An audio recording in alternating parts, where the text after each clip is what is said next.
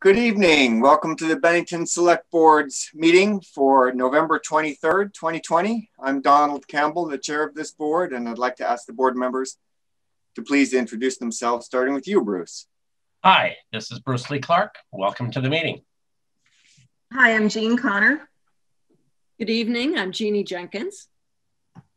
Good evening. This is Jim Carroll. Hi, Sarah Perrin.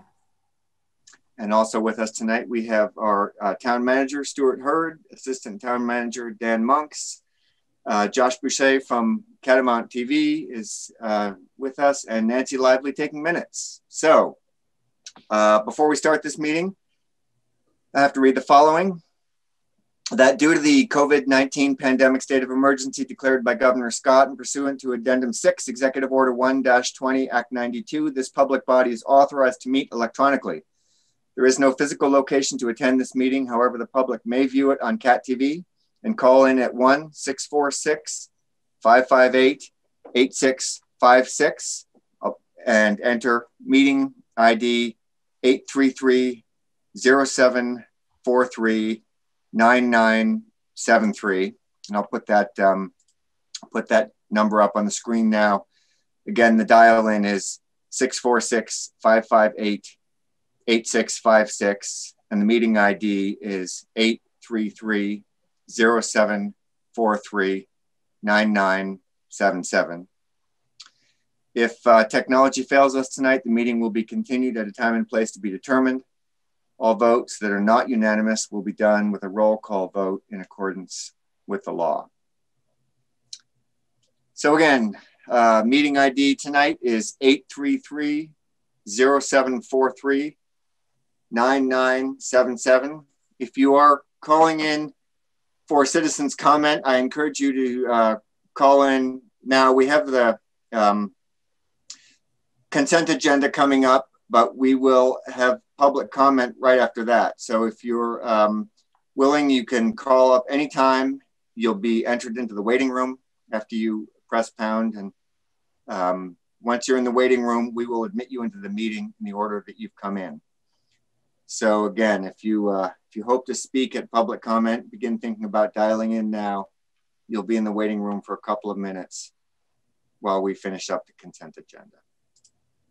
So the first order of business tonight is in fact the consent agenda, the minutes of uh, 1029, 11.9, and 11.16, as well as the warrants as circulated and with the board's permission, I'd like to add to the consent agenda a second class liquor license for the Hazard Food Mart. Uh, that came out from Beth fairly late this afternoon, but uh, hopefully you all have had a chance to see that. Um, a pretty standard liquor license request. So for the purposes of a uh, of conversation, I guess I'd like a motion on this consent agenda, please. So moved. Thank you, Jean. Do I have a second? second. Thank you, Bruce. Okay, uh, board discussion on the consent agenda. Any Anything on the minutes uh, from October 29th, November 9th, November 16th, warrants as circulated if you haven't had a chance to ask Stuart your questions already, or the, um, or the liquor license that was recently added.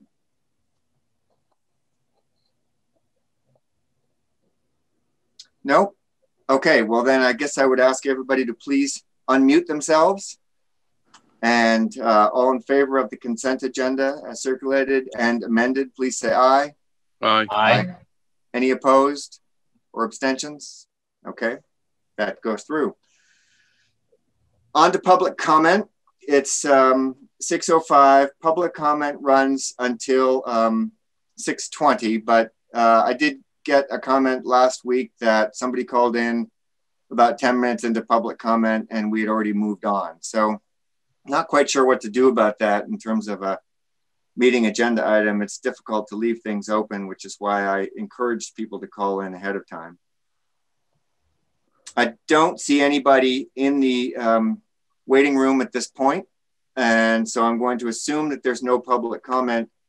Board, um, if somebody calls in and we can make time later in the meeting, uh, if it's in the next 10 or so minutes, I will try to do that, but I, I'm not quite sure how else to handle it on Zoom. It's not a perfect situation, but I will try to um, try to accommodate anybody if they call in in the next 10 minutes. Okay. In the meantime, we're going to move on to community policing reviews.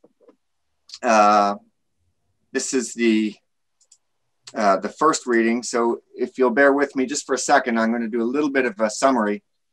Um, so following the recommendations uh, set forth in the IACP report that came out earlier this spring, and in consult in consultation with the town's um, consultant Curtis Reed from the Vermont Partnership for Fairness and Diversity, the Select Board's Community Policing Committee, that's Jean and Jeannie and Bruce, developed a process to review, update, create as necessary stated police policies. And so this group has worked through the course of the summer and the fall to develop the recommended policies we see before us tonight. And these are the first three policies to be reviewed by the Policy Advisory Committee, and uh, more will follow.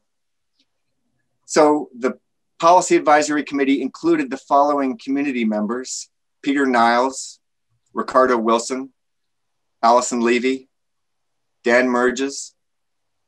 These citizens were joined by Officer Dan Ferreira and Assistant Town Manager Dan Monks, along with Select Board member Bruce Lee Clark. And we should take a minute to uh, thank the citizens, especially who generously volunteered their time for this effort. It's really great that you were able to give us so much of your time. In addition, we should thank Officer Ferreira and Chief Doucette, both for their professional expertise and for their willingness to engage productively in this process. So a reminder that materials available to the committee and used in their development of these proposals can all be found on the town's website under community policing. If you want to hear what went into these proposed policies, each meeting was videotaped and can be viewed on CAT TV. The process was roughly this. Following approval from the policy committee, each new or revised policy was sent to Bennington Police Chief Paul Doucette and Town Attorney Rob Woolmington for review. So we'll have a first reading tonight at which I welcome, I welcome uh, first board members and then public to ask questions on the process and the rationale and to offer questions or concerns for the committee to address in the next two weeks. At our next meeting, uh, the second reading, any changes the committee and the town counsel recommends will be considered and the board will probably be asked to vote on the policies. Once the select board approves them, appropriate procedures will be developed to support the policies. The resulting combination of the policies with the procedures will then be posted on the Bennington Police Department's website for anybody to see at any time. So again, tonight is the first reading of the following Bennington Community Policing Policies. Use of force, duty to intervene, and use of conducted electronic weapons or CEWs. And to take us through this, I think I might turn this meeting over to you, Bruce, and um, have you uh, describe anything about the process that I missed and field any questions that may come from the board first and then any that we uh, get from the public. Sure. Let me just uh, add to what Don has already said. Um, we didn't write these from scratch. Um, we actually had at our disposal, and this is true, I think, of each of the policies, at least for the most part, uh, a model policy from the Vermont League of Cities and Towns, a model policy from the IACP. Also, we had, uh, in many cases, policies from the Bennington Police Department some of which were taken directly from the Vermont League of Cities and Towns, and that's the case in terms of the use of force uh, response to resistance policy that we're looking at tonight and in two weeks. We also had access to the Brattleboro Police Department and the Vermont State Police Department policies, just so folks understand that. And that would be true of all of the members of the committee. Um, it should be noted that we did not, for the most part, look at procedures, although that isn't the case so much under the response to resistance use of use of force policy. Um, since they all all of these have an attached procedures section, um, we looked at that, but any of our thoughts on th- that section have gone to the chief for his consideration, um, and we consider them suggestions to him. Uh, I will say uh, just one other um, point, um, and that is that uh, the policy that you see before you is essentially the policy that the that the committee put together with really two ma- what I would call two major exceptions. Uh, one, um, and the and the committee was notified of each of these additions. Um, under definitions, we added the definition under prohibited restraint, and that is because the state legislature passed a law at the end of December, which uh, requires uh, that this kind of a addition be used. The, re- the use of uh, pressure on the neck, throat, or windpipe or carotid artery to prevent or hinder breathing, reduce intake of air, or impede the flow of blood or oxygen to the brain is prohibited. And so we wanted to make sure that that was in there, obviously. Uh, and finally, um, one in one section, we uh, under the definition of duty of care, we added um, the standard that is in actually the policy itself. We added the standard for uh, when an officer would be um, required to um, provide mental health resources uh, or mental health services when such when when something like that is necessary and it's this objective standard which just leads me to my last comment we as the policy drafting committee uh, and we here on the select board are really working um, between a series, what I would consider a series of boundaries. Um, one of the boundaries is police practice. These are things that this is the practice that, of law enforcement as it has been taught and as it currently exists. That's one boundary.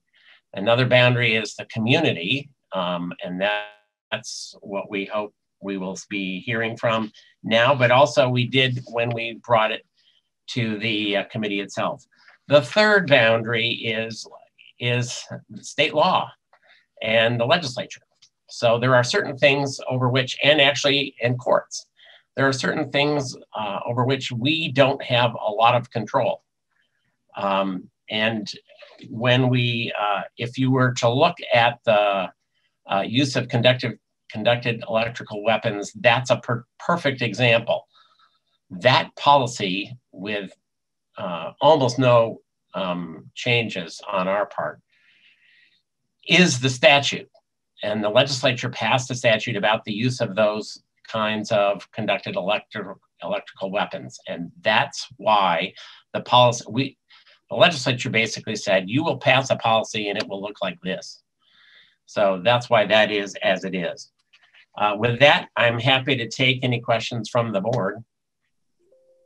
And before we go there, let me just remind the board that uh, what will work best is, is not to uh, wordsmith tonight, but is to ask questions about the process, to ask questions about the rationale for some of the decisions that the committee made. And if there are concerns or questions that you'd like addressed, to give them to the uh, the committee members, and they will take them back to the full committee, including the citizen component of that committee, and the legal review of town counsel, and the review of the police department and make sure that whatever comes to us next week incorporates changes that are actionable. Okay, so we have a couple hands up. We're going to go in this order. We're going to go Jeannie, Jim, Jean. Go ahead, Jeannie. Okay. Um, so thank you. Um, I did have the pleasure of sitting uh, and listening to this policy discussion, and it was incredibly thoughtful.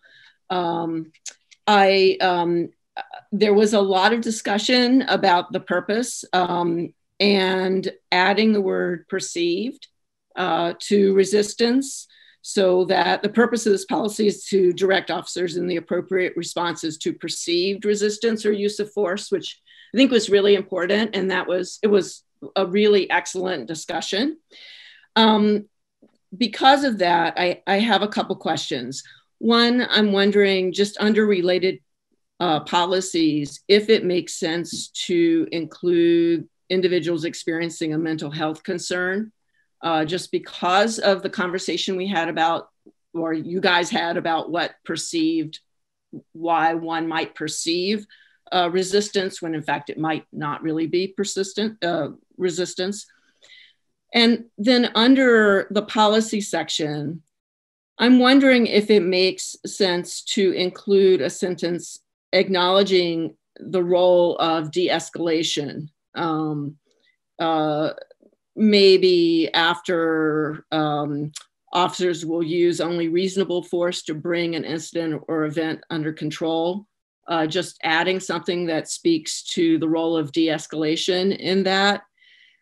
And then I don't know what I think about this really, but I just wanted to throw it out. Also, whether it makes sense to use the language from the CEW policy that um, says that special consideration or consideration should be made of special populations and special circumstances, uh, just in, in how we think about force. So those were those were really my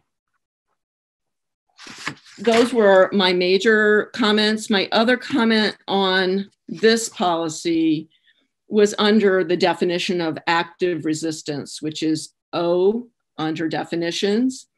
There is a, a, much more detailed definition of active resistance under the CEW policy that talks about what is and isn't active resistance. So, for instance, it says things like um, uh, it talks about civil disobedience uh, and, and sort of that is an active resistance. And eh, we might want to use, we might want to just copy that language and put it in O. So that's, I, will I'll stop there. I think I have some, I have some comments on the second policy as well, but I think I'll just stop there. And Jeannie, those are good points. Uh, and, and Bruce, it might be good for you to talk about the role of definitions at some point here. I think she did surface one sure. that didn't match. Uh, so right. I actually I could do that now. I those are all great um, suggestions. Probably um, um, many of them could be just incorporated. I don't see a problem with that. But um, uh, yes, for, for those who um, are wondering why there are all these definitions and there isn't that kind of terminology in the policy, um, many of these um, definitions refer down what to, to what will be the procedure. Um, the procedure is actually laid out in the League of Cities and Towns, and that's the procedure that the Bennington Police Department has been using, and those items ought to be defined, and, and definitions end up acting as a kind of extension of the policy. So they, the policy committees have looked at purpose, policy, and definitions for those very reasons. Um, I do like the, the notion uh, of um, including the CEW definition um, of active resistance, that makes a lot of sense. And because in essence, our definitions really ought to be pretty closely aligned, if not identical, and that's a better definition. So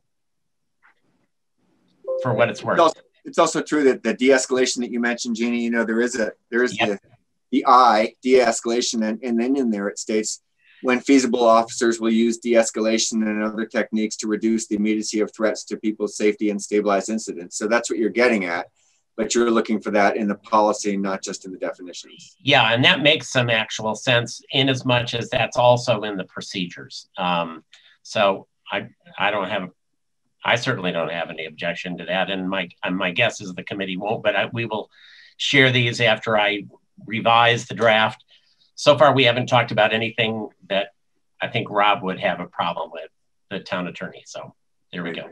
Thanks. Thank you, Jeannie. Good good points. Um, G Jim Carroll, you're next, please. Uh, thank you, Don. Um, I just want to point out to the uh, listening and general public that uh, these policies are under the, they're not being dictated to us by the members of uh, these committees. The, these are the recommendations that are made, and they're subject to the acceptance by the select board in each and every case. I just want to make that clarification. That's it. Yep, that's a good that's good clarification, Jim. It is um, a group process that has gotten us here, but it's one that has been bookended by um, legal and practical review. So um, it's now it's now come to us kind of in, in a state that could be approved uh, if we if we so choose, or could be amended. So thank you for bringing that up, uh, Jean Connor.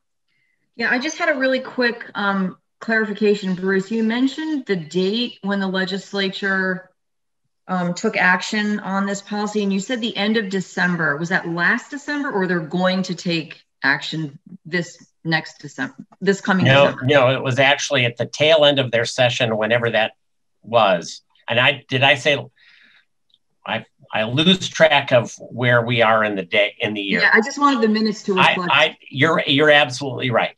Uh, Jim, when did the legislature end? Do you recall? It was probably October. It was, but uh, there is still uh, a lingering sensation that we may be called in right. before the the end of my term in January. You right. never know. I understand. never know. So, so Jean, for the for, thank you for that correction. Uh, it was a miss misspeak on my part. It, it should have said in October. Okay. And I have a question, but it's on one of the other policies. I'll wait till later. Oh, you can go ahead. The three, go ahead, Jean. We've oh, got okay. all three. Yeah. Okay. So this is um, the use of electronic weapons, page two and three. Conducted electrical weapons. Yeah. Uh, conducted electrical weapons. That's the terminology. Wait a minute. Maybe I'm wrong. Which one is this? No, I'm sorry. Duty to intervene. Ah, thank no, you. No, no, no, no, no, no. I was right the first time. Use of okay. conducted electrical weapons. Yep. Okay. So on page two of this policy, there's two references to age under 18 years of age, which is um, under section B. Correct. Letter D and letter F is over 65 years of age. Correct. How that just seems a little bit subjective. So it's just based on kind of like what a normal 18 year old probably would look like or what you would expect a 65 year old to look like. It, it, I don't know. That would make me nervous if I had to be able to put an age on someone. Perfectly understandable. And that's probably what every law enforcement officer thinks as well. Just for everybody's and your sake, so that you understand this is language we cannot change. Okay.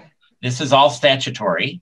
This is this is a policy that is essentially put into stat that that was previously already put into statute at 20 VSA 2367A1. Okay. That's where this all comes from. Do officers have to make a judgment?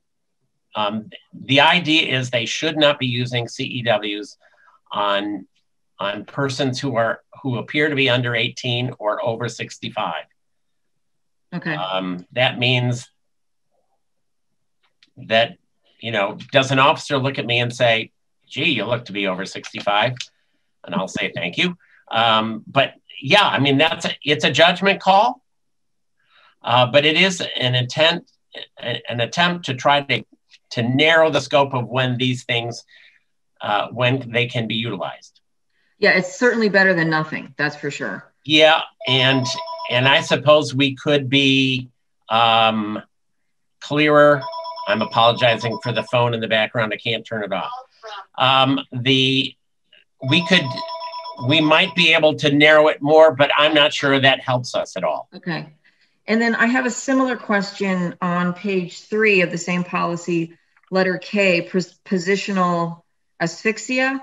Yes. Um, the last sentence, the BPD prohibits prolonged face down prone restraint. Is that another situation that you, we can't change it? I this I had the same pr- problem with the word prolonged. What I would consider prolonged and what someone else might consider prolonged could be very different.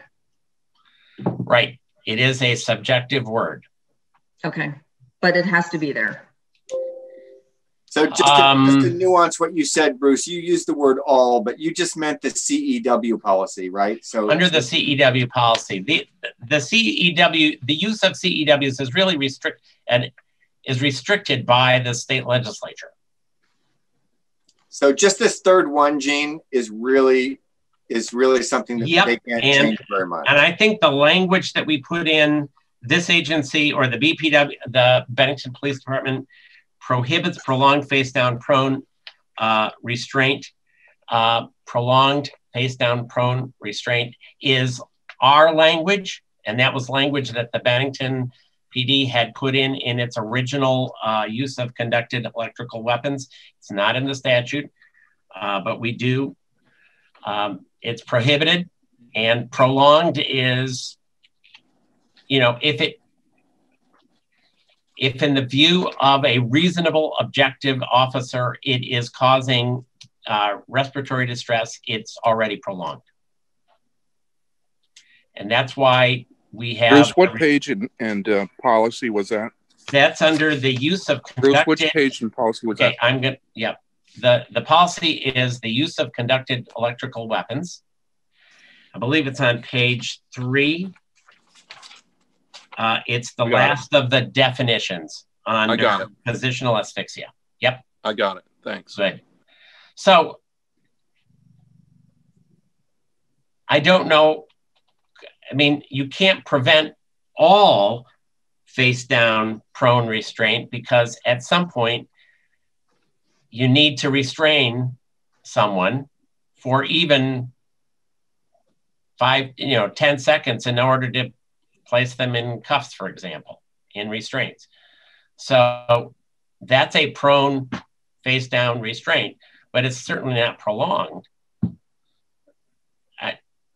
Either way, it's not something that we're we're we are allowed to change because it's It- well, this language I think is more ours than the statute. But so we could actually, if you think it, you could come up with a different word than prolonged, that I think we could I see. modify. But the general idea that uh, uh, avoiding pr- positional asphyxia is really the statutory requirement. Maybe instead of prolonged, you could say as short an amount of time as possible, or you know, switch it around as necessary, or I, I don't know. Yeah. I I just it, it makes Why me uncomfortable. This but- smacks of wordsmithing. Why don't Yeah, we we're, we'll we'll take a look at that section and see what we come up with.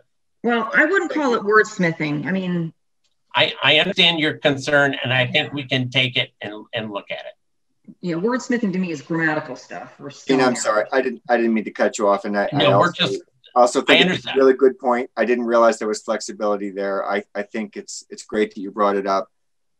Thank you. And you know, you know, Bruce, if your gang can chew on that Oh, yeah. and make some sense of that of her point, that'd be great. Yep, we can think of something. So I have a couple more hands up. I see Jeannie and then Jim. Go ahead, Jeannie. Hi, so um, I'm not going to do any wordsmithing on on um, duty to intervene, but I think you probably saw there are a couple there, there are a couple places where they're missing words. But my Mhm. my question is under policy B one Yes. under the duty to intervene. One of the reasons to intervene is to prevent the use of unreasonable force. And it feels to me like it would be useful to have a definition. Um, I looked through the CEW policy has a definition of reasonable force, but not one of unreasonable use of force. But it, it feels it feels like either we need to define what what um, use of force means or unreasonable use of force just to help us out here. So that would be my Okay, so let me just, just for everybody's sake, okay. and, and Rob can um, prepare me for some other, um, what, what you've opened up to, basically, the standard for use of force is what a reasonable officer would per, uh, perceive uh, in the same circumstances. So it That's- might Yeah, right. And I mean, I mean we could say that more explicitly in that section, um, yeah. but we can't say anything other than that. Okay, in so words, where that's precisely the area that the courts have said uh, that unless unless a state legislature wants to go in a very different direction, that's the direction we have to be. That's the standard for understanding what reasonable, what okay. force is allowable. It's okay. reasonable. So okay. The, isn't the excessive force uh, R in the first policy? Isn't that what you're getting at? Yeah. Yeah. So if we can do something, I mean, the I get that the policies are linked, but they're also standalone. So it it feels to me like there should be the fact that we're talking about use of force as a as a reason to intervene means that in some way we'd want to define either what reasonable use of force or unreasonable and, and i get that unreasonable use of force would be much harder to define so anyway it, it's just a suggestion maybe gotcha. maybe add we'll see what we can do yeah although i do think this excessive force is is that definition that you're somewhat looking for isn't mm-hmm. it um, uh, although it, yeah, the intent it circles around what's reasonable. Uh, I get that. Right.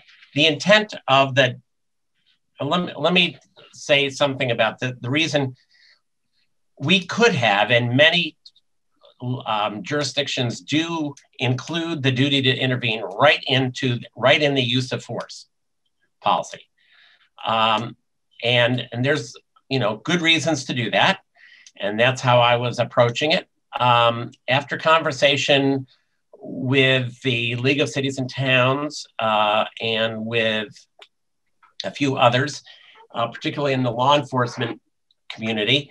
Um, the reason to put it separately is to make sure that it is clear to uh, officers who are um, lower in the hierarchy that they're um, that they that they have a duty to intervene that that goes above and beyond the hierarchy. That is to say, if they perceive that, uh, this is a hypothetical, if they perceive that a superior officer is in fact using unreasonable force under the use of force policy, then they have a duty to intervene and stop it if they can do that so safely, and they have an absolute duty to report it once it's done. Yeah, so, no, no concerns about that. I just I understand that, but that's why it's separate. So, um, but I'm happy to strengthen, see if we can strengthen that that particular section under. Um, it's the duty to intervene. Um, I'm just making sure I've got your section correct. It's yeah. the duty. It's under the policy B1, correct? Um, yes, yeah, so either it would go under B1 or it could go under definitions and be a B under definitions, whichever. Yep. And, or whatever. it could be both. Right. Okay. Okay, thank Helpful. you. So Bruce, you did you did say to me at one point that not all definitions need to be in each policy because one definition stands in for another place. So right. so the use of force as as it's used by the police department um, as it's used by the police department, the uh, unreasonable force as it's defined in the use of force policy would also be unreasonable use of force in the duty intervene policy. An officer can't say, well, I'm, I, you know, I was thinking the other policy and it didn't have a definition. No, they, um, officers are required obligated to follow all the policies and know them. Um, that may seem too much, but that's what we're requiring of them. So this excessive force definition carries through all of the other policies. Yep. Okay. Uh, a couple of other hands up here and one person in the waiting room. So I'm going to call on Jim and then Sarah, and then we're going to go to uh, caller ending in 840 after that. Go ahead, Jim. Thank you. Um, under uh, use of conductive uh, electro, electrical weapons. The last codicil or uh, letter K, um, there's, and I know we aren't supposed to do any wordsmithing here, and I'm not trying to, but um, the, the problem that I have with the phrase uh, a subject, uh, officers restraining a subject should be cognizant of and re, and avoid positional asphyxia. Um, is there? I guess this is a question for Stu. Is there any training and uh, for Bennington police officers with respect to physiological responses for those that are being uh, restrained? Yes, there's an annual training for for use of force, I believe, uh, that all officers must must take. I think in COVID it's been uh, virtual, but normally it's hands-on. Okay, can you elaborate in any way? And your your mic really is terrible. I, I do apologize for that. It's a new a new microphone to uh, allow my PC to be used in this manner. Uh, so I'm going to have to probably go back to using a laptop to, to, to, clear this up. But nonetheless, no, I don't I don't have experience with that, Jim. So I'm not the okay. guy to, to, to, elaborate. All right. Um, for the board, you know, or um, those that are writing this, I, I would hope there there could be a little bit more clarification on that rather than just the word cognizant I mean, we, we all know that stepping on somebody's face is probably going to hurt them. Um, but it, it ought to be clearer as a policy. I don't much care for the word cognizant myself anyway, but uh, good points, Jim. Um, so if that covers your points, I'd, I'd, ask Sarah, go ahead, and then we'll take a caller from uh, the waiting room. Yeah, so this one's quick. Um, I think everything good points. I think you know just looking that over with those points. I just had a question about the CALEA standard under response to resistance use of force page. Is that to be carried over through all of the other um, duty to intervene and UCCEWs as well, or are there other standards that can be applied to those through CALEA? Sarah, I didn't quite catch where so can you just repeat that one more time? Sure. So um, the first response to resistance page, there's the CALEA standard, and there's a bunch of different things listed there. There's a what standard? CALEA standard. There's the um, Vermont statute section standard section. Oh, that CALEA standard. Yes. I, yep. I see where you're going. Okay. In the heading. Yep, in the heading. Um, quite frankly, I am not at all clear about what those CALEA standards do. That's something that was on the League of Cities and Towns, and I hadn't deleted it necessarily. Oh, okay. Um, so I'm going to ask the chief, how helpful are they? If they're very helpful, then we'll keep them because th- these policies are really designed for him. You can go into CALEA. That's a, you know, an acronym. You can go into that and see where they are. You can go online and, and get there. Right. Yeah. I just wondered if that would, yeah. So you're not really sure. And I, yeah, if, um, if possible, I think it would be, um, great for us to find some more CALEA standards to, to meet. I, am the Commission on Accreditation for Law Enforcement Agencies, which is what that stands for. Yep. Um, currently, as I see it, doesn't have, or at least I wasn't able to find anything on conductive conducted electrical weapons, but that doesn't mean that they haven't been developing them and they haven't been posting them on the website. It's dependent upon them. But we can certainly find out. Okay. And do you know about duty to intervene? Do they have anything on that?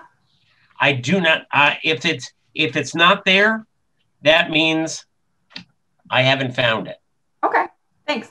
But I'm also going through Trevor up at up at the League of Cities and Towns, um, who who is much more up on those uh, on that connection. But if you'd like me to make sure that they're there, I, and I I had been thinking once we pass this, we'll talk to the chief and see if that's what he wants there. Because he doesn't have them on, and the chief, the current Bennington policies doesn't have any of those. But I, I like the idea that there are these standards that are are universally um, accepted professional standards. It makes a lot of sense to me. I, I agree with that. I think CALEA is something we should try to try to meet. Okay, not a problem. Is that it, Sarah? That's it. I just I like the CALEA in there, and I thought, hey, let's move move with this. Thanks. Okay. So if uh, I don't know if the board is at, at uh, fully exhausted your questions, but there's somebody that was in the waiting room. They fell out of the waiting room. They're back in the waiting room. I'd like to let uh, Sam in and uh, see what he has to say tonight. So caller ending in 840, you are in the Bennington Select Board meeting and uh, welcome. Uh, welcome back. And uh, yeah, press star six and let us know your name and what's on your mind. Uh, good evening, uh, uh, Chairman Campbell. This is Sam Ristuno. How are you doing? Good evening, Sam. I'm doing well, thanks. Thanks for joining okay. us. Okay. thank you for allowing me to comment. Um, believe it or not, on policy of, I know there's a lot to go through in the language, and this is just the first draft, and I hope um, residents have a time to comment on this. Uh, I don't know how you're going to handle this before you adopt it, but let me say uh, I have experienced being um, how could I say it, in the system with Bennington Police Department, especially on the borderline of, I won't quite say mental health, but when officers do respond, I strongly urge that they try to de escalate a situation because, believe it or not, and I'll put it on record, I was handcuffed because an officer possibly felt threat- threatened. I didn't see that threat, but I was handcuffed by an officer. And yes, put in the back of a patrol car, and processed. It was a domestic between aging in place and my mom and these new officers that come aboard. They better get on the stick and know people's situations when there's a domestic. So I strongly urge before a situation handles like that, they strongly have to talk things out. And I know the officers are busy on other calls as well, but um, quite a few calls, as you know, when they do respond. It's an open book that it's a domestic out there, and it's going to get worse. Sam, thank you for bringing that um, personal and real life experience. We, we appreciate that. It's very bold of you. And um, I, I, do think that's the intent, Bruce, of, of what your gang's been getting at, right? Uh, yes, that would be true. Uh, we're actually, um, Sam, I do appreciate it. Um, that may very well uh, give us another reason to include de-escalation in the actual uh, paragraph of the policy. I think that's not a bad idea. It's it's extensively used in the procedures section, by the way. You should know, um, um, and hopefully you'll see that up. Uh, just on. I mean, I can. Under- uh, yep, Sam. I can. I can, I can, I can have been. When, yep, go ahead. I can understand where an officer gives direction and they say at once and they say it twice and they don't honor uh, the the ones that they ask don't honor that um, instruction then they ha- officers naturally have no recourse to say put your arms behind your back i'm going to cuff you because it's a very fine line on every situation that's out there that's different. Yeah i mean um, you know and and officers out there are put in all kinds of situations from hot to cold. I mean, um, and I commend them. It's not an easy task out there. Same with, with anyone that's first responding out there. Um, you know, they, they offer for backup. It's great when they do have uh, backup, but sometimes that backup is not going to be uh, available. And um, it's strenuous out there. I understand their situation, but it's just, I think in my personal situation, they could have could have handled it differently because of uh, Bruce, I know you probably know my situation too. I've been through the program of um, mm-hmm. uh, RSJ or whatever you pronounce, restorative yeah. justice. Restorative so, I, so I can I can speak about it. So um, right. you know, thank you for allowing me to to speak openly about this. It's somewhat difficult, but I think it needs to be said. Dan, before you ring off, um, Jim, I see you have your hand up. Do you have a question of clarification for Sam, or is your your uh, point on for both well it's for both um, sam and bruce with respect to this policy and the development of this policy.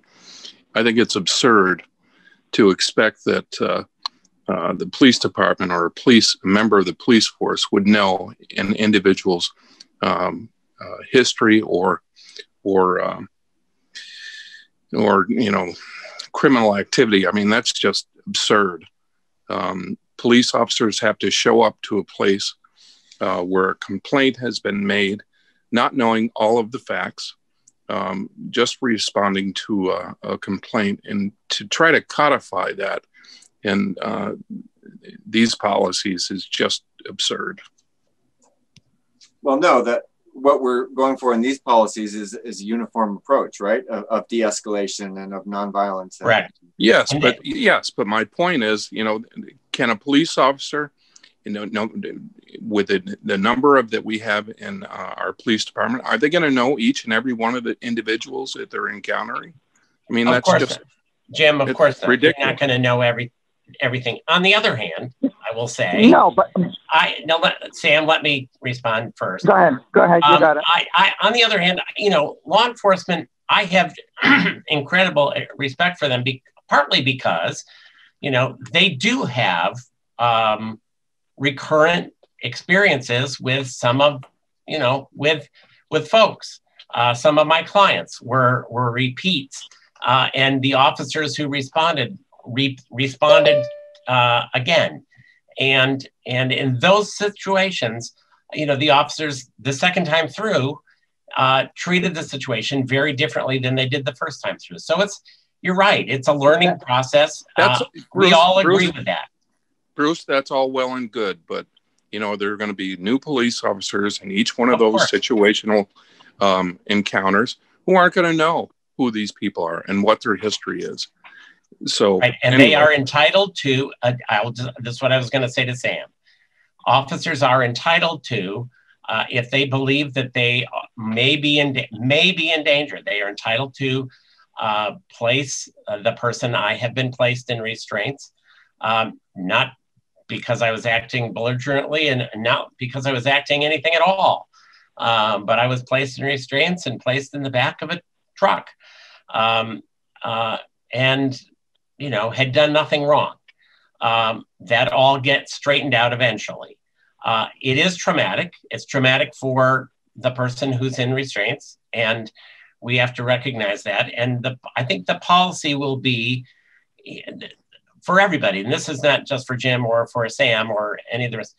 Here's the here's the reason for the policy. The policy actually seeks to guide police officers, law enforcement officers, in the use of their absolutely necessary discretion. They have to have discretion to do certain things, but within certain boundaries. What we're trying to do is set out what policy does uh, and what the general orders did um, that the police have been working under is set where those boundaries are. We're now making those boundaries public. And that's the positive of this process. So, Sam, thank you very much for uh, your comments and thank you for uh, this But I'm going to ask one more. Bruce was correct by if once new officers come aboard and they're aware of the situation, it's up to dispatch to let them know that when they respond to a certain address, with today's technology and the computer, they can quickly pull up a case history of the said complaint. I know too it is. Just for a fact that when I had issues with my father who had moderate Alzheimer's situation, I personally let dispatch know that when a response is called in or complaint, please be it known that the issue that's going to be involved is an issue with a, a disargument with my father because he has Alzheimer's. Okay, there's a key point what, where Bruce spoke of the situation. Naturally, when new officers on board, they haven't known the beat yet, but they're going to know quick of certain instances when they do respond. And yes, when we get in situations of borderline mental health and um, uh, domestics, that they're going to start learning the vibe of Bennington. It's just that the point being was I didn't think I was threatening an officer, but to hear that statement that uh, put your arms behind your back, naturally, if you refuse that statement, then that escalates the situation even more. That an officer made a statement to put your arms behind your back, you refused them and give pro- probable cause to be handcuffed, and it was quite embarrassing to be put in behind a, a patrol and even process. And I told them I had I've been in the system before. I've been through um, um, the system, and naturally they had to just go with policy by being fingerprinted and uh, photographed. So um, only because, sorry, I'm Italian, I get a little loud, and my neighbors should be knowing going on what's going on when I I have issues with persons uh, aging in place. So, being with that, happy Thanksgiving to everybody. Thank you for allowing me to speak, and I will back out. Thank you, Sam. Have a good evening and a good Thanksgiving yourself. Yep. Thank you for my suggestion. Bye bye.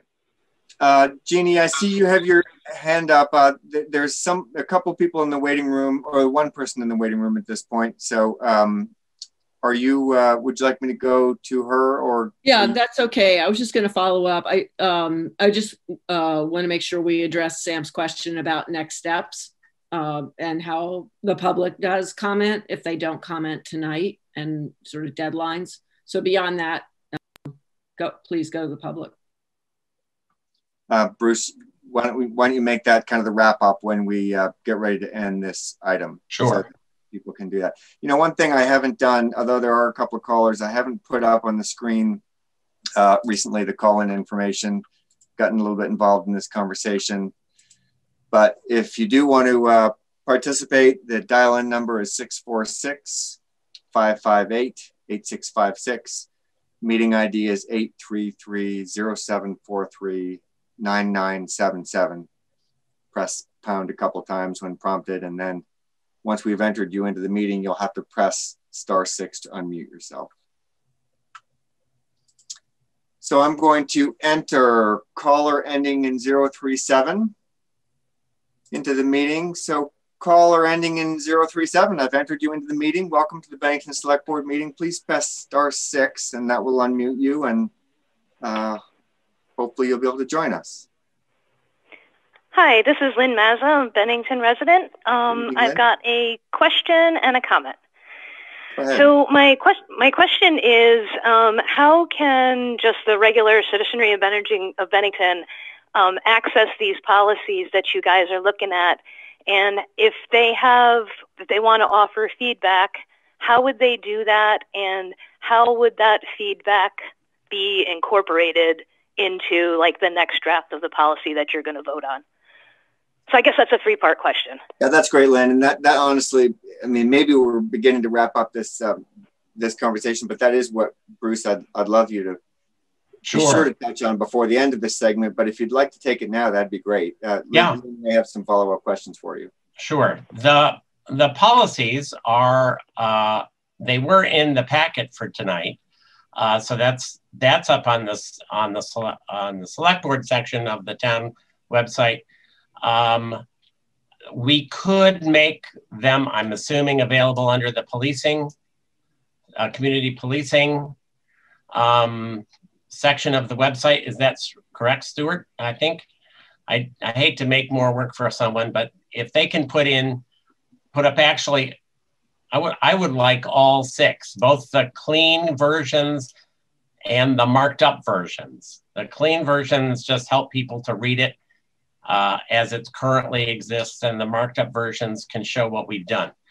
Um, so, Lynn, that would be one of the ways. Uh, that's how you can get at them.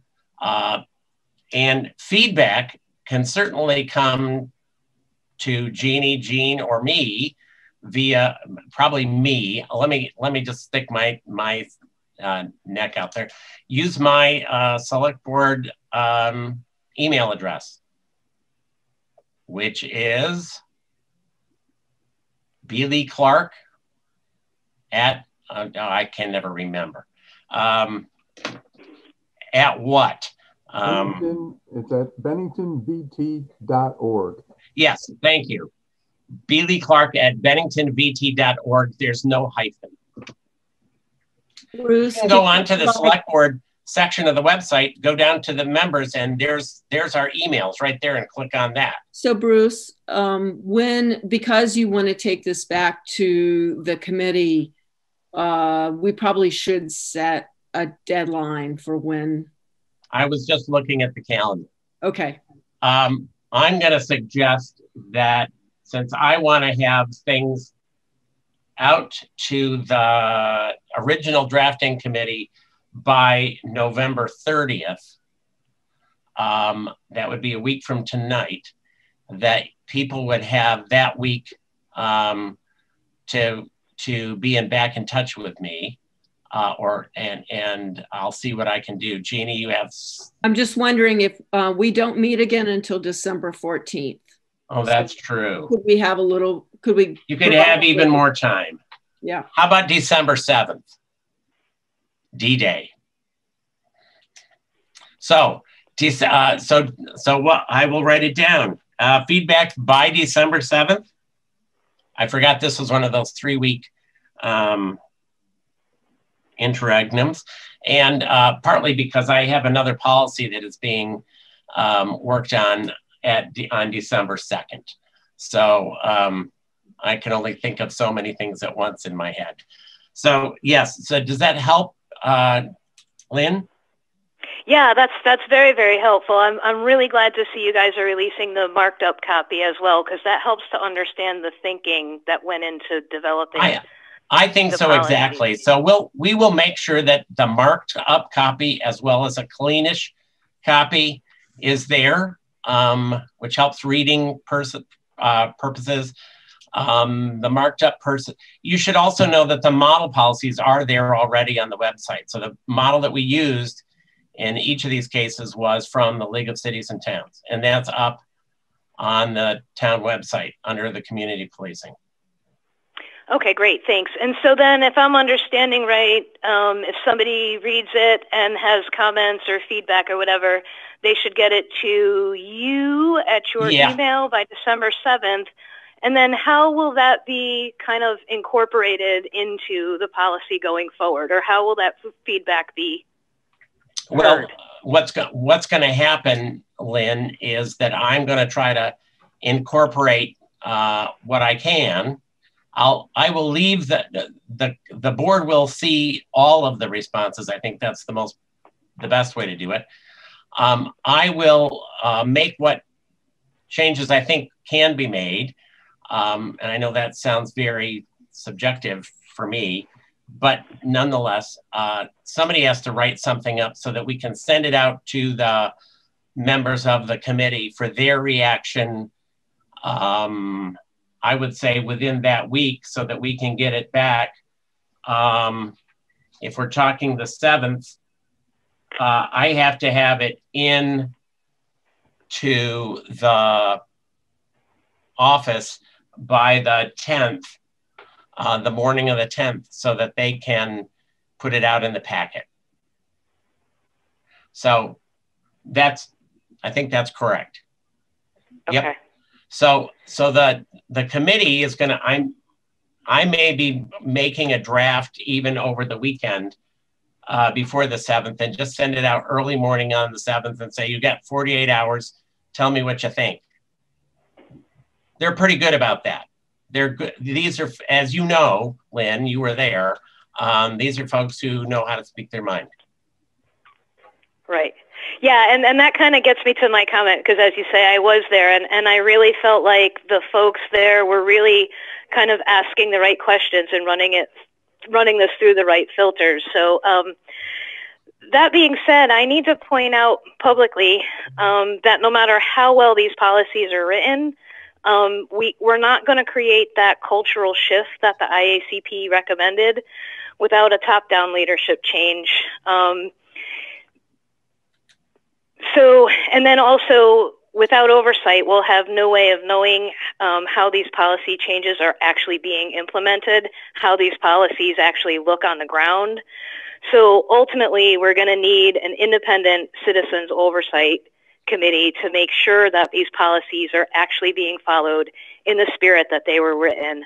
And so I just I just wanted to put that out there publicly again. I think it's so important that that independent citizens group is on the table that we're talking about it, we're thinking about it, we're planning for it because it is so essential to this whole process if we're actually right going to create any real yep. change. That's my and, two cents. And Lynn, uh, right, I, I get your two cents. Um, let me just, and then I'll let everybody else speak. Um, I would agree with you that that uh, culture change takes a lot. I would also agree. I, I, w- I would just guard everybody into the, the policy piece is a piece of a process. And it is not all of the process. It is my sense that that we are working toward um, something more than just in enacting policies. Um, but I have already begun to to hear and see change, um, at least in my conversations, for which I am very grateful and very thankful. So, um, on that note, I would agree with you that policies in and of themselves don't are not the whole kit and caboodle. Thanks. Excellent. Thanks. And I want to wish everybody a happy Thanksgiving as well. Thank you. You too. Have a good night, you guys. Bye. Good night. So, board members, uh, we're at a point where we've had some substantial conversation here. Uh, I think we have some next steps. We have, uh, you've clearly laid out, Bruce, how people can participate if they haven't already and if they want to. So I think that's a good step.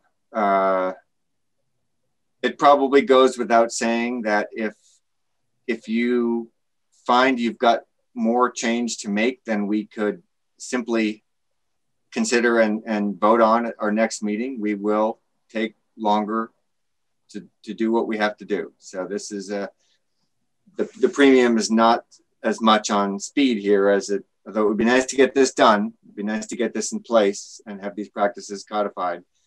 The premium is on uh, good work, not on fast work. So thank you for continuing to do good work. Uh, before we segue, I think maybe Jean has one more comment. Yeah, just really quickly. Um, I didn't want Lynn and maybe others to assume that any suggestion or comment that they would like to add will automatically be part of the policy, um, as That's was right. the case with some of our concerns and questions. You know, they're statutory. We don't have a lot of flexibility sometimes. So I, I just didn't want her to leave the conversation thinking that, you know, everything that they ask for is going to necessarily be incorporated. True. Very good point. It's true for everybody. I think probably Lynn is a little more plugged in than, than others because she has been at some of these things. So she probably realizes the give and take that has to happen between what's legal and what's practical and, and what's what's desirable. But that's a great point to make, Jean, and everybody should bear that in mind. This is uh, it's not a kitchen sink document. It's a it's a it's a the document that we've asked a specific group of, of citizens and professionals to work out so that we can have a, a really high quality piece of work when we're done. So I'd like to thank uh, thank you three for working on that. The next, um, Bruce, any last words from you before I uh, jump to the next agenda item, which is actually community policing update? No, I've said enough. Okay. Well, thank you for thank you for saying what you have said. I think it was extremely helpful tonight. Um, Jeannie, gentle segue to community policing update. Um, is there anything that you would like to um, bring forward at this point? Um, I don't think I have anything. I think we've laid out the timeline uh, through next June, maybe. Um, but I uh, want to turn it over to Jean and Bruce just to talk about the discussion boards and also the final policy that we'll be looking at. So Great. Let me go first. Okay. And I just want to take a moment to thank Bruce. This is, you've handled this process, which is lots of moving parts phenomenally. It's just, it's been amazing to watch you just kind of do all of this keep all the balls in the air at the same time. So my hat, my hat is off to you. Um, yeah, I don't have a lot to add about the community policing boards. They're up for, geez, four more days. They're going to come down on Friday. This is the fourth and final question that's posted right now. I just did a tally. Um, we have 95 comments um, on, from all the questions, not just the final question. So I'm quite confident we'll, we'll definitely get to 100 by the end of the week. And the current question, just to refresh folks' memories, is how can the community and the Bennington Police Department better engage with each other? And the boards are at um, GBIX on Depot Street, St. Peter's Church, the Rec Center, the town office, and Powers Market in North Bennington. So if you have anything to say about that last question, you have until Friday to uh, to put your comments up. That's all I've got. Jim, uh, I see you have your hand up. Did you have a question for Jean? Not a question for Jean, uh, just a comment to sort of echo what uh, Jean Connor just said. Um, and I've said this in private uh, amongst our, ourselves that this, you know, the work that we've done with these policies is probably some of the most important work that we'll ever do for the town of Bennington. And uh, that cannot be underscored enough. And I want to thank all those that were involved, Bruce particularly, and uh, the rest of uh, those people that were in uh, involved in the development of this policy. That this is really important work, and that should be noted. That's all.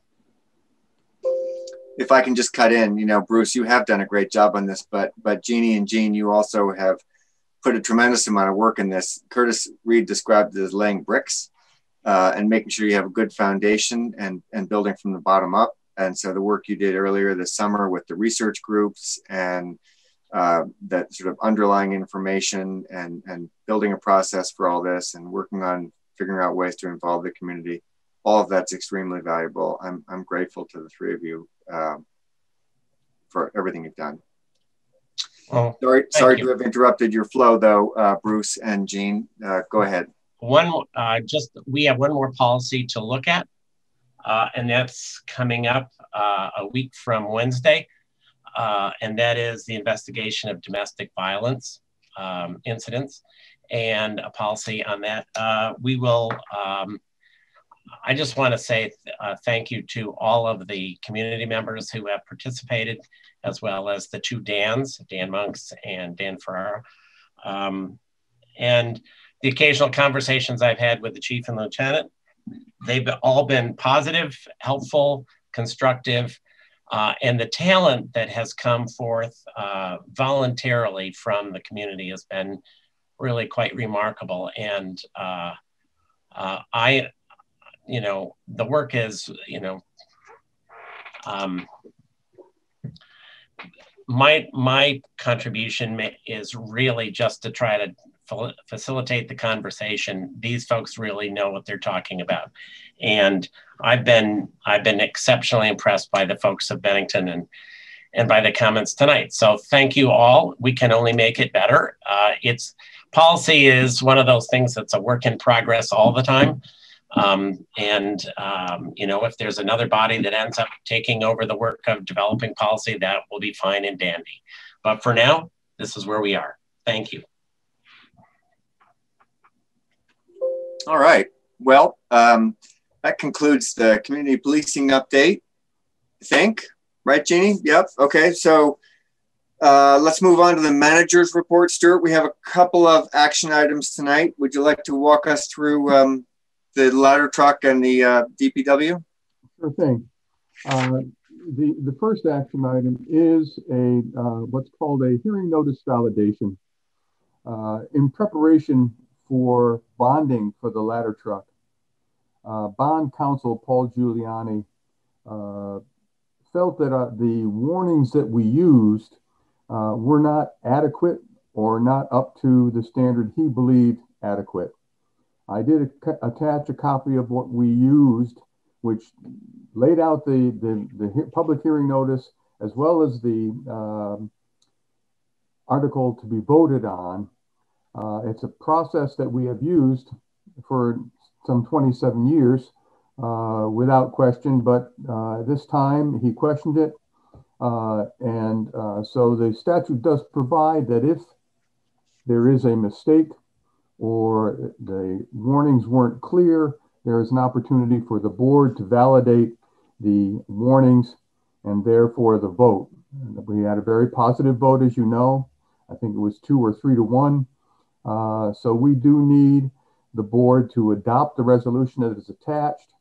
When you do so, uh, it will then be submitted to the town clerk for certification. That goes in with the bond package application, and we would be uh, therefore eligible for the monies to pay for the ladder truck, which is due here in February. Thank you. It, it looks to me like uh, a beautiful public hearing notice, and I'm surprised that they didn't think there was enough uh, exposure there, but it, it, it looks, uh, I would have thought it was perfect too. But why don't we correct this? If I could have a motion uh, to for the chair to sign the validation resolution, I'd appreciate that. So move. Do I have a second? Second. Okay, thank you, the, I think it's not the chair who gets to sign this one. Oh, you're right. It's the town clerk. Town clerk gets this one, Donald. Yep. Ah, one less signature. That's great for me. So listen, uh, is there any conversation, any uh, discussion about the validation resolution? Has everybody read it? Does everybody feel okay with it? This is the only comment is the spelling of select board, which I don't think matters enough to retype it. Uh, unfortunately, that is the spelling that that is statutory. Our charter, oh. our charter is different, and it has been accepted by the, by the legislature. But select board has now been combined into one word statutorily. Yeah, someday we'll teach the rest of Vermont how to spell it properly. all right. Not seeing any other questions, I would ask you all to unmute yourself, please. All in favor of the validation resolution, please say aye. Aye. Any opposed? Any abstaining? Okay, Stuart, all set. Thank you. What's your second uh, action request? Is the uh, ratification of the union ex contract extension. Uh, as I noted in, in, the last meeting uh, during our discussions in executive session, the union is asked just to extend the working agreement one more year, uh, principally due to the fact that it's hard to negotiate face to face during this pandemic. Um, we basically agreed to extend the contract to one year. Uh, they have agreed to an, an, increase in the percentage of participation in the healthcare uh, expense. And uh, we've added some additional funds for uh, hazardous pay re related to confined space entry uh, that a number of our employees must be trained and must be prepared to do. Uh, so I am looking for a motion to ratify the contract. I should note that the DPW folks have already done that. They've already voted to ratify. And to be clear, this is exactly what we talked about in executive session last year. Nothing's changed since then. That's correct, except the addition to the um, participation in healthcare cost. It's been increased and they've agreed to that. Okay. Everybody clear on that? All right. I would look for a motion um, to uh, modify, uh, motion to ratify the contract extension. I'll make Thank a motion to modify you, that. Appreciate that. Do I have a second? I'll second it. Thank you, Jean. Okay, any any discussion, board discussion on this? Questions for Stuart? I think we got them all out during executive session. All right, I ask you please to all unmute yourselves and all in favor of the contract extension, please say aye. Aye. Aye. aye. Any opposed? Any abstaining? Okay. Thank you Thank you, Stuart. Make sure they know we appreciate them. Uh, I certainly will pass that on. Uh, I do have a couple of things to to just throw out tonight. Um, not no well, no decisions really need to be made right now, uh, but I have been approached by one of the agencies who would normally be placed in the ballot if they didn't ask for more money.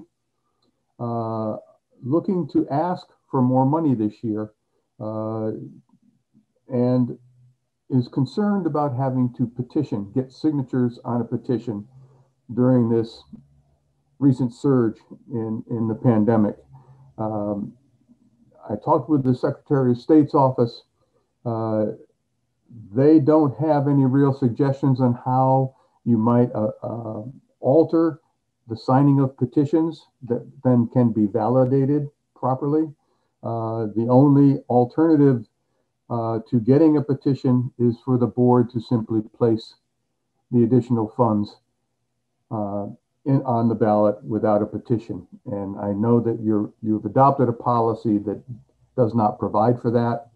And uh, so I just wanted to bring that to your attention. Uh, these folks are, are, looking for some alternative to the standard signature uh, build petitions. Who is the group? Uh, I, I don't know that that's important, Jim, but um, because there may be others that are out there feeling the same way. Uh, so uh, it's just a, it's a general question that I, I would just, at this point, if the board is going to stick with their policy, then I, that would be the policy we, we, we require. Just like if we're going to deviate from our policy, we should do that in open session, uh, you know, on, as a warned subject. If, if what we might be able to do is to accept signatures in another format, or there may be some other thing that we could do in lieu of that. But uh, I'm I'm jumping ahead. Jean, I see you have a hand up, and Sarah, your hand's up too. Go ahead, Jeannie. Jeannie's hands up. Sorry, Jeannie. um, yeah. Uh, so I'm just wondering um, when, uh, if you can give us just the time frame. When did agencies find out what the their time frames were, and then what is the time frame by which the signatures would need to be in? Uh, we sent those uh, documents out at least three weeks ago. I'd have to pull my file to find the exact date. I actually it's up on the web. It's October 13th, I think. Okay. But I don't know. Yeah, but I don't know when it when would they need to have the signatures in? Uh, the signatures have to be in 47 days before the vote. Uh, what that date is, I don't have that in front of me. The vote is scheduled for March 2nd, so it's sometime in the middle of January uh, or early January they'd have to be in. Um, so we have we have some time to consider, and perhaps we should place this on the agenda for the 14th uh, to see if the board's willing. Uh, it'll give me a little more time to try to figure out alternatives. Um, they, I mean, you can do electronic signatures, um, but I'm not sure that those are easily verified by the town clerk. Well, we did we um how similar is this to the process that we just went through to put the question of uh, a mayor on you know a charter change on on the ballot? I mean that it, it feels like this is sort of that same time frame and they did they were proactive and did that. Is it if you can give some sense of whether this is similar or a very different situation? Well, it's it's it's similar. It's it's the only way you can get uh, from our policy anyway. It's the only way you can get an increase in your your budget request uh, as an agency before the people. You must petition and and you must receive five percent of the voters, which is what the the mayoral petition did. So you are correct. We already have one petition that was submitted via the standard way, which is signatures, an address, uh, printed name for validation. And those have been validated. So uh, if there is an alternative way to do this, uh, I, am not sure at this time what that is. So, Sarah, you have your hand up. Would you, you like to weigh in on this? Um, yeah, so you might have already answered my question um, by saying that there's one in right now. So there is one petition in from an agency currently. Is that correct? Not from an agency. The petition on the mayoral mayoral form. Oh, okay. Okay. So are there any petitions from any agencies in currently? Not not at this time. Okay. Because and remember what we said was if you're not going to ask for an increase, you just need to submit your application. The only agency, and it's really not truly an agency, but I've only received uh, that information from the Bennington County Regional Commission at this point. Everybody else is has much more time, but they should be coming in very soon. Okay. All right. Thanks. Stuart, I think we need some. I think we need some good suggestions on this. You know, you and I talked a little bit about this. It's a bit of a head scratcher. If, if we did a general amnesty on signatures, we'd have an avalanche of increased requests, and that would hurt the taxpayers. Um, since almost all these things always get uh, passed. However, these are also essential agencies that do a lot for our community, and this is a very difficult time. So I think all of us probably see both sides of this.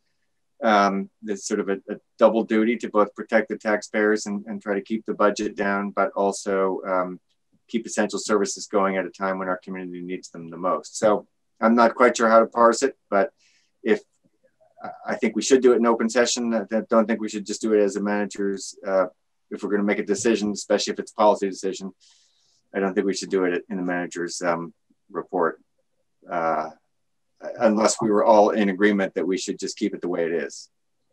So, Jean Connor, go ahead. Yeah, how do how do agencies normally get their signatures? Just as I'm trying to think about this, do they normally, you know, they just carry it around in their car, and when they run into people, they get them. To, that's how it's normally done. Or, and I remember, you know, you would see them at South Street Cafe, or you would see them at the bookstore, or all of the above. Okay, I just wanted to make sure that I was clear on that when I'm trying to think of creative ideas how to do this. And actually, in the past, what what there was a change that was allowed, and that was all of the agencies that we were asking to petition, which are the ones that asked for more than $7,500. Um, they were all allowed to sign the same petition as long as the petitions clearly signified what they were requesting as an agency. So that allowed the agencies to uh, actually split up the number of pages and, and it made it easier to get the number of signatures they required. But now, now we're saying to them, if you if you don't ask for more, we're going to put you on the ballot, um, as long as you pro provide us with the information we ask for.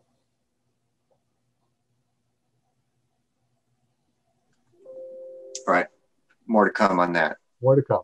Other uh, other uh, points from you, Stuart?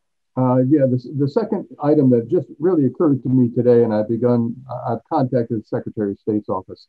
Um, unless something really, really incredible happens over the next several months, more than likely we will be doing our floor meeting via Zoom. Uh, I think that's going to be awkward. You should uh, clarify, Stuart. You mean the town meeting in March. So that's what you're talking about by floor meeting the annual town meeting, which is the floor meeting portion. We are fortunate uh, because we already vote by Australian ballot. So that's not a problem for us. Many small towns are uh, contacting the league and researching ways that they might hold their vote uh, because they vote everything from the floor. We don't do that. Uh, and there are, I think you might have seen an article in the paper where Shaftsbury is considering a special vote to go to Australian ballot for this year only. Um, and so th- that that's not our problem, but I just wanted to highlight that we will most likely be doing our annual meeting by Zoom um, uh, for what it's worth. Uh, and then back to my uh, normal manager's report. Uh, I think uh, from an update on the COVID uh, for our purposes, we have uh, stopped all face-to-face meetings. Uh, I think Bruce and knows that we've we've forced the policy committees to meet via Zoom or or some other virtual format.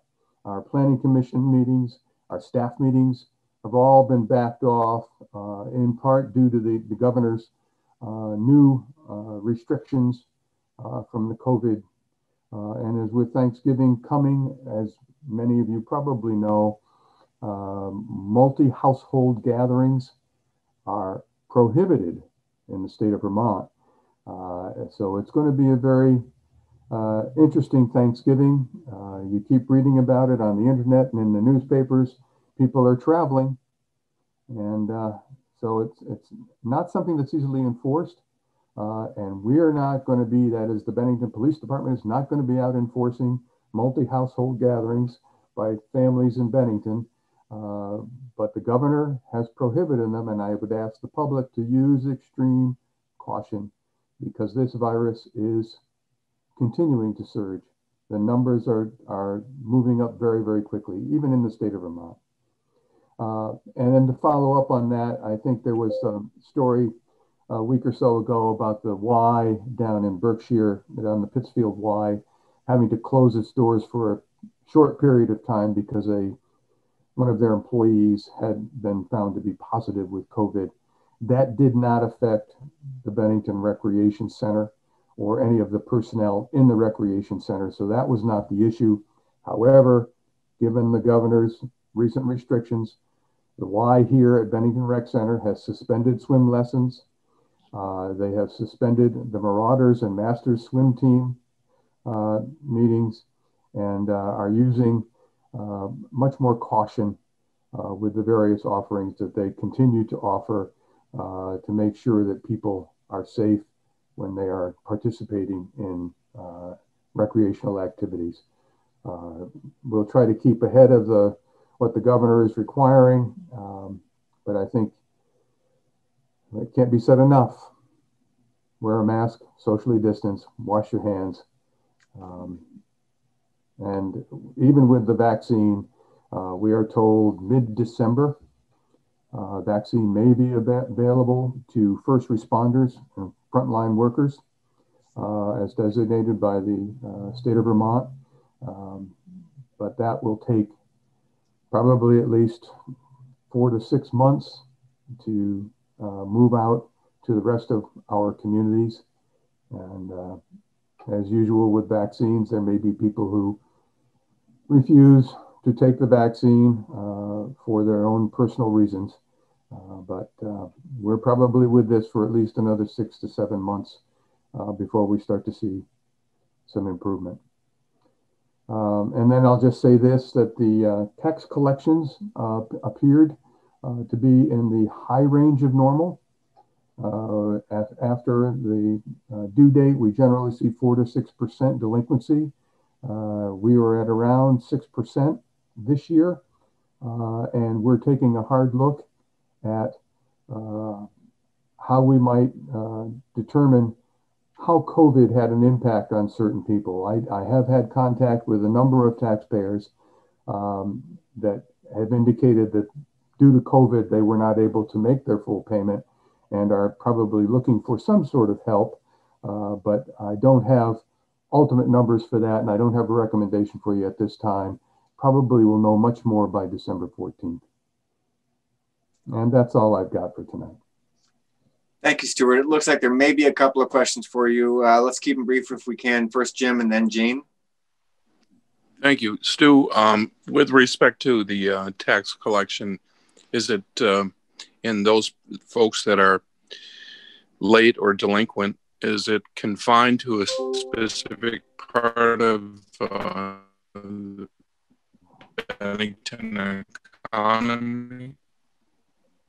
Uh, no, Jim. Uh, the we've had contact with uh, from residential customers who whose um, limited income was was severely hampered. Uh, Stu, go ahead.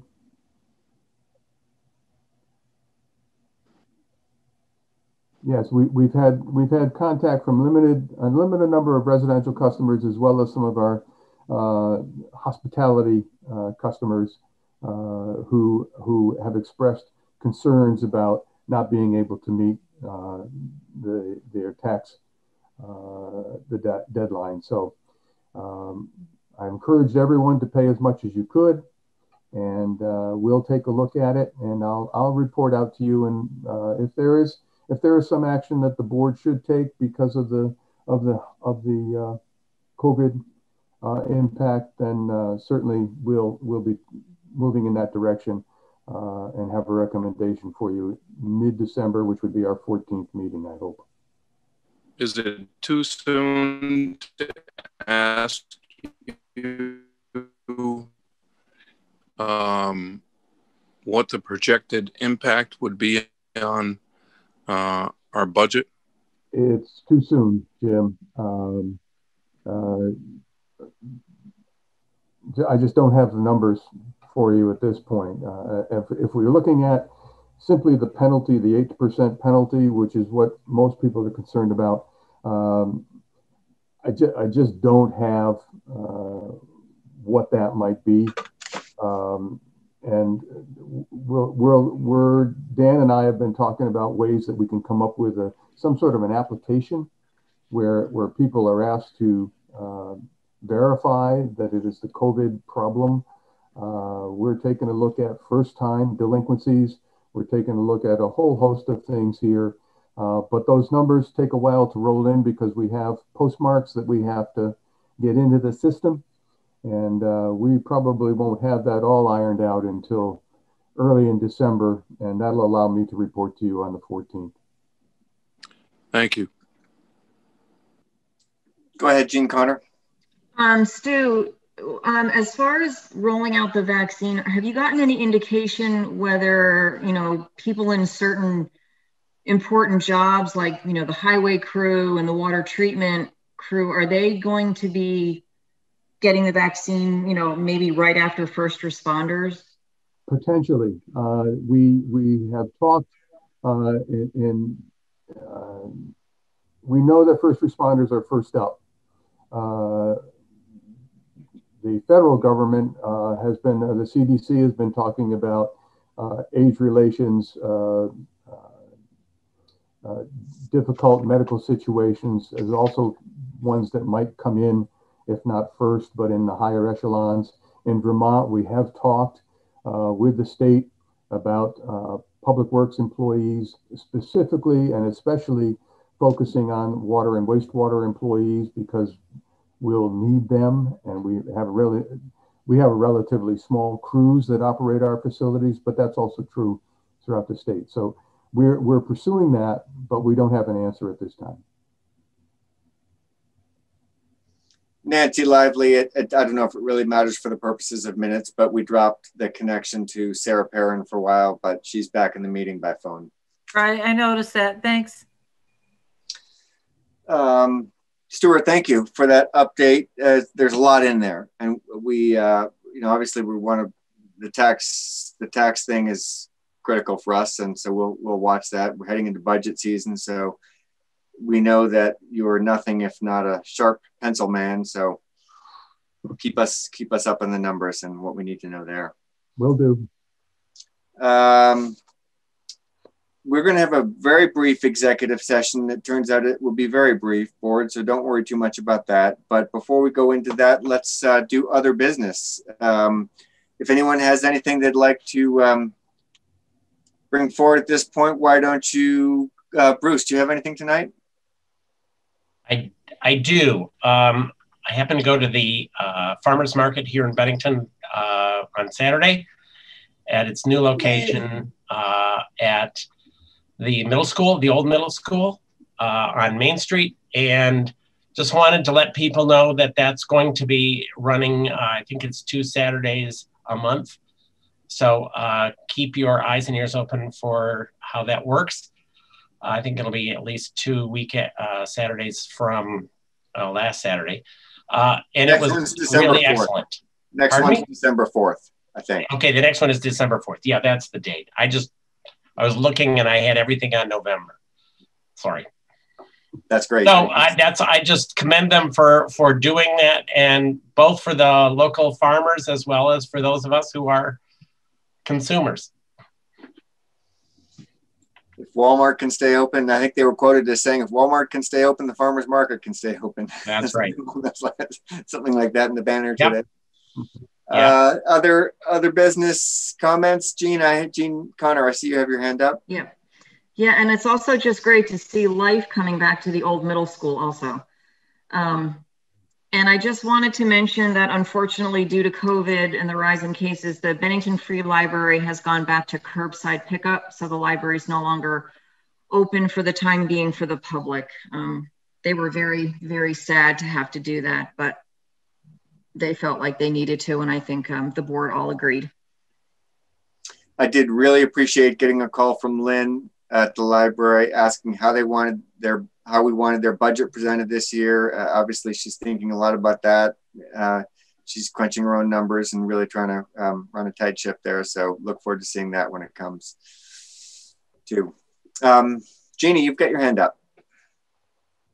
Yes. Um, so it's uh, downtown is looking lovely, particularly if you go down there at dusk or dark uh, all the lights are up and it, it is really it's really beautiful and i think on top of that looking at just all the activity and the new the new stores that are coming in the new stores that are about to open the um, the uh, new um, the additional things that have happened at the Putnam block. It's really it's it's uh, really starting to look like we're we're getting near the end of, uh, uh, you know, of that phase.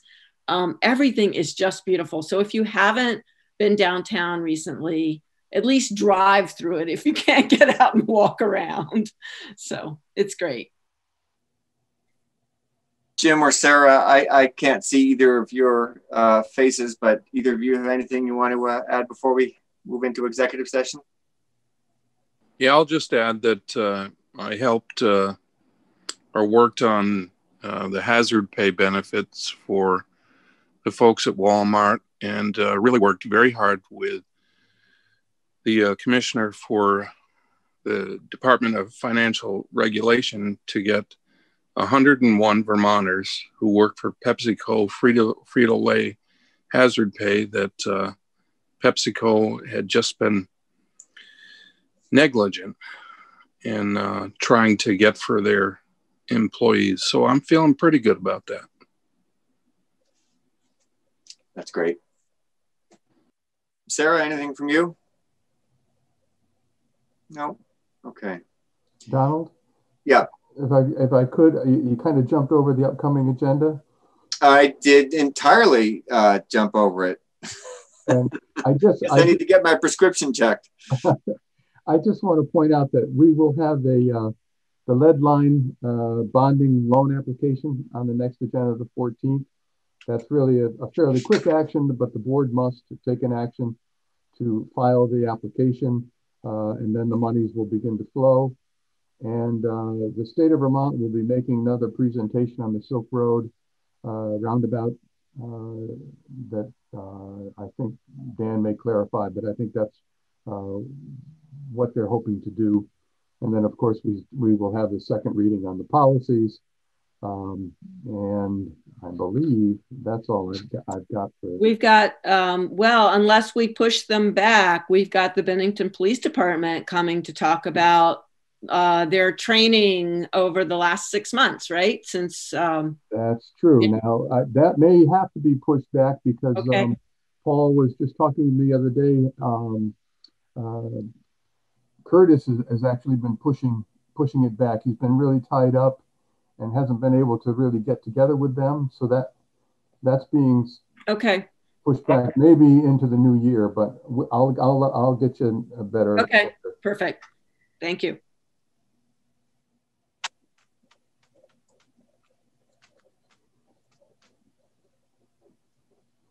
All right. And hopefully you'll have some good news for us on SVC by then too, right? Uh, did, yeah, yeah. Did you see? That's all we asked for. That's all I want for Christmas. Did you see where SVHC also made an offer on the gatehouse? Yes. Great. So. Now, all right. Well, when you when you clear executive session, just jot down the time so that I can do the minutes of that, the minutes addendum. Will do. It'll just be a couple of minutes. Um, I think I probably speak for the whole board when I say uh, that we know it's going to be possibly the strangest Thanksgiving oh. most of us have ever had. And um, to Stuart's point, it's also during probably the worst part of the pandemic so far. And uh, we hope everybody will stay safe, wear your mask, socially distance, do all that kind of stuff. probably just going to be this year is going to be the tough one. And so this will be a strange Thanksgiving. Let's hope next year we're, we're back to normal and just uh, hunker down and get through this one the best we can. But whatever you do, uh, we wish you a happy Thanksgiving. Hey, and, Donald. Uh, hey, Donald. What kind of show would you describe it to be this year? uh, I'll have to do that in executive session. it's been a tough show. It's been. I couldn't resist. Yeah, it's All been right. a tough show, but nevertheless, we have to find happiness where we can find it. Thanksgiving, we we still have lots to be thankful for. Let's dig deep and do it, and uh, we'll talk to you on the other side. So I'd like uh, a, a, motion to go into executive session on a personnel matter with no uh, voted outcomes during that uh, session. I'll move. Do I have a second? Okay, thank you. All in favor, please say aye. Aye. aye.